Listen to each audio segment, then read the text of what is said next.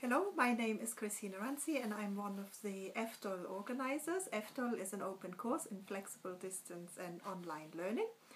Um, I'm an academic developer at the Centre for Excellence in Learning and Teaching at Manchester Metropolitan University and I really really look forward to learning together. The course starts on Monday.